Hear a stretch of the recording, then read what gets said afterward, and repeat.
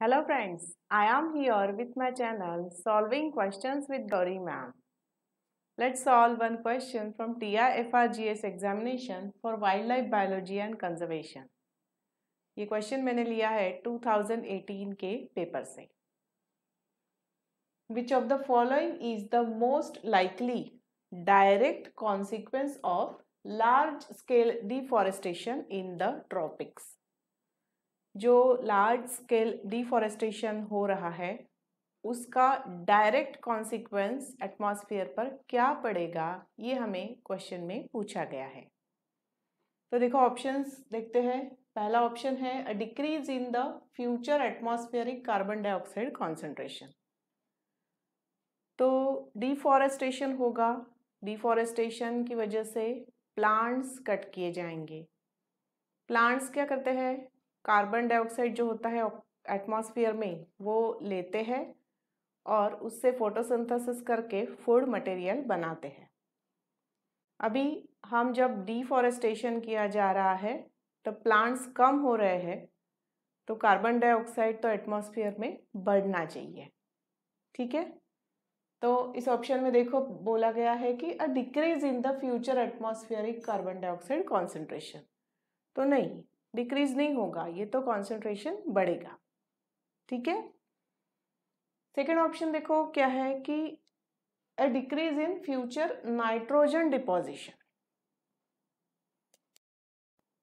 अभी यहाँ देखो, हम अगर नाइट्रोजन साइकिल को याद कर ले तो देखो कि एटमॉस्फेयर में जो नाइट्रोजन होता है, उसे फिक्स करने का काम प्लांट्स करते हैं।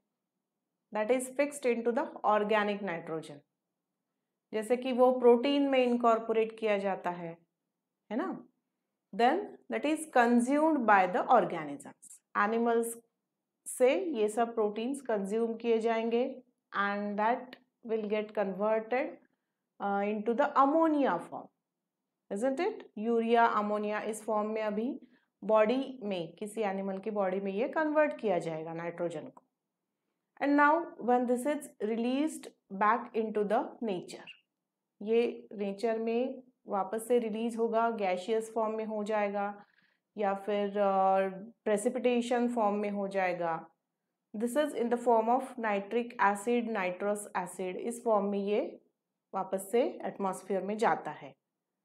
This is known as a nitrogen deposition okay so, यहाँ पर अगर हम प्लांट्स काट रहे हैं इस साइकिल में देखो प्लांट्स का रोल है ये जो एटमॉस्फेयर में गया हुआ नाइट्रोजन है उसे वापस से फिक्स करो ऑर्गेनिक फॉर्म में कन्वर्ट करो and that is available for animals that is again converted into inorganic form as a nitric acid nitrous acid ammonia तो वापस से प्लांट्स का रोल है। तो ये रोल हम अगर कम कर रहे हैं तो ये डिपोजिशन अभी जो नाइट्रोजन डिपोजिशन हम बोल रहे हैं, वो तो इंक्रीज होना है इजेंट इट तो ऑप्शन में हमें बोला है कि a decrease in future nitrogen deposition तो ऐसा नहीं होगा तो नाइट्रोजन डिपोजिशन जो है, वो बढ़ने वाला है when there is a deforestation in a nature ठीक है? Now third option says an increase in future mean global temperature तो हाँ मीन ग्लोबल टेम्परेचर बढ़ता जाएगा, ये हम जानते हैं। कार्बन डाइऑक्साइड का कॉन्सेंट्रेशन बढ़ता जाएगा। कार्बन डाइऑक्साइड एक ग्रीन हाउस गैस का एग्ज़ाम्पल है।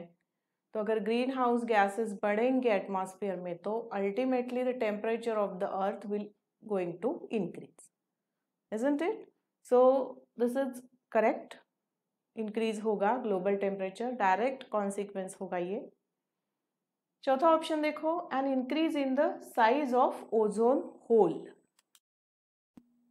हाँ ये सच है, ये होगा। An increase in the size of ozone hole ozone hole deforestation की वजह से इंक्रीज होगा। मगर देखो, हमारे क्वेश्चन में हमें क्या पूछा है? एक तो डायरेक्ट कॉन्सिक्वेंस पूछा है। और दूसरा, इन ट्रॉपिक्स पूछा है। तो ओजोन होल की हम जब बात करते हैं, तब ऐसा देखा जाता है कि ये ओजोन होल पोलार रीजन में पाया जाता है। पोलार रीजन में ये इंक्रीज होते दिखाई दे रहा है।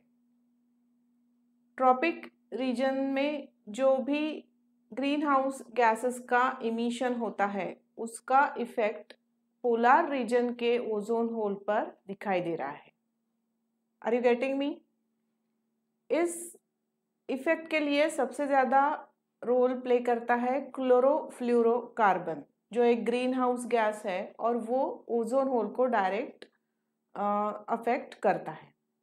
तो इसलिए ये भी आंसर करेक्ट है। मगर हम जब डायरेक्ट कॉन्सिक्वेंस बोल रहे हैं मतलब हमें क्वेश्चन वैसे पूछ रहा है और टॉपिक में डिफॉरेस्टेशन की बात कर रहे हैं तो डायरेक्ट कॉन्सिक्वेंस के लिए हमारा आंसर यहाँ होगा option C. And increase in future mean global temperature तो सबसे पहले टेम्परेचर इंक्रीज होगा and still there is a emission of chlorofluorocarbon in a atmosphere it's going on it's going on for longer period of time then it is going to affect the ozone hole present in a polar regions ठीक है? जैसे हम देखो, पढ़ते हैं, जब ecosystem पढ़ते हैं तो इकोसिस्टम की कुछ बाउंड्री नहीं होती है। Isn't it? We we make that boundary for our study purposes.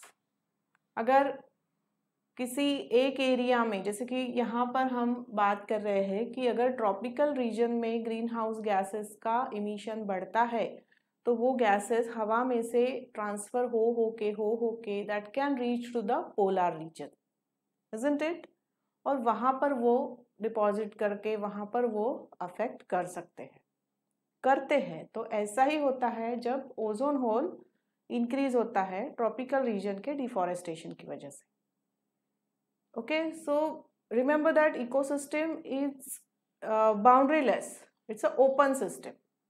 अगर हमारे स्टडी पर्पस के लिए हम रिवर इकोसिस्टम या ओशन इकोसिस्टम या फिर marine ecosystem grassland ecosystem deciduous forest इस तरह से ऐसे बाउंड्री हमें नेचर में कहीं नहीं दिखाई देती है कि हाँ यहाँ से यहाँ रिवर फ्लो हो रही है फिर यहाँ पे स्टॉप उसके बाद ओशन शुरू होता है। No there is a um, area there is a common area in between river and ocean it तो इस तरह से किसी भी इकोसिस्टम को आप ले लो एक इकोसिस्टम में कुछ चेंजेस होते हैं तो दूसरी इकोसिस्टम उसे सफ़र या उस पर भी अफेक्ट उसका होता है। I hope you got my point, you understood the explanation for this question. Here I am concluding with today's video. I request you to please like, share and sub subscribe for my channel and also to hit the bell icon. Thanks for watching.